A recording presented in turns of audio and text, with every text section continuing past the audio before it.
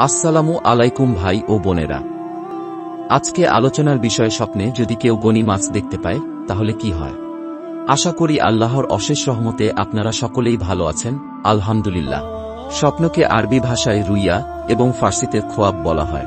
হজরত হুরায়রা রাদিয়াল্লাহু আনহু থেকে বর্ণিত রাসূলুল্লাহ সাল্লাল্লাহু আলাইহি ওয়াসাল্লাম এরশাদ করেছেন, রুইয়ায় সালেহা, তথা ভালো স্বপ্ন আল্লাহর নিকট থেকে দেখানো হয়। তবে স্বপ্নটি সত্য কিনা মিথ্যা হবে, তা সম্পূর্ণই আপনার উপর নির্ভরশীল। ইসলামিক হাদিস অনুসারে, যদি আপনি পাক পবিত্র অবস্থায় ডান কাত হয়ে ঘুম আসেন এবং রাত বারোটার পর থেকে ফজর আজানের আগে যদি কোনো ভালো স্বপ্ন দেখে থাকেন, তাহলে এটি আল্লাহর নিকট থেকে দেখানো হয়েছে এবং খুব অচিরেই আপনার স্বপ্নটি সত্য হবে, ইনশাআল্লাহ। স্বপ্নের এই ব্যাখ্যাটি আমরা ইবনে সিরিন রহমতুল্লাহি আলাইহি এর স্বপ্নের তাবির বই থেকে নিয়েছি। স্বপ্নে গনি মাছ দেখলে বহু কষ্টে সম্পদ উপার্জন করার সংকেত মেলে।